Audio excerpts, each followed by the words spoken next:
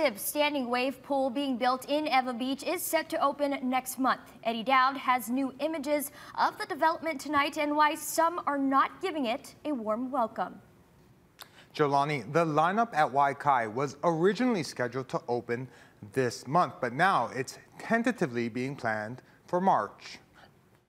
The $40 million wave pool on the Ewa shoreline is now nearing its final steps. Hawaii News Now was invited out to the area in October to see the project underway.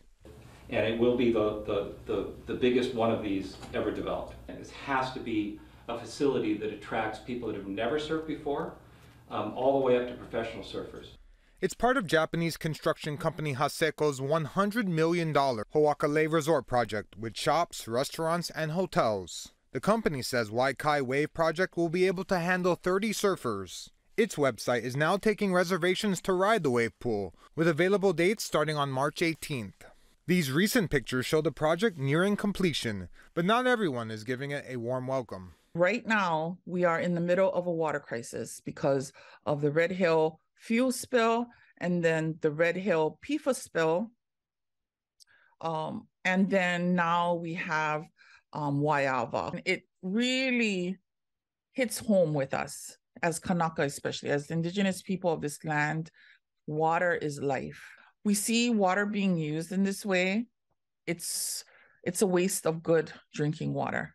As far as sustainability, the website says, quote, Sustainability is carefully considered from everything we do at the lineup at Waikai, from water usage to our food suppliers to the products in our retail shop. We do our best to make conscious choices that will help reduce our footprint on this earth. They don't really care about sustainability. If they did, they would have never built this project.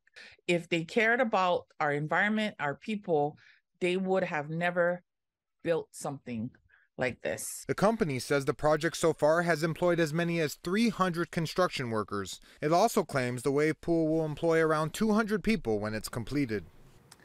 Now, the lineup at Waikai was originally scheduled to open this month according to the website, and like we told you, is set tentatively for March. Now, in terms of the cost of this um, park, we're told that uh, surfing lessons will range around $90, but just to surf on the machine, that will be around $100. Reporting live, Eddie Dowd, Hawaii News Now.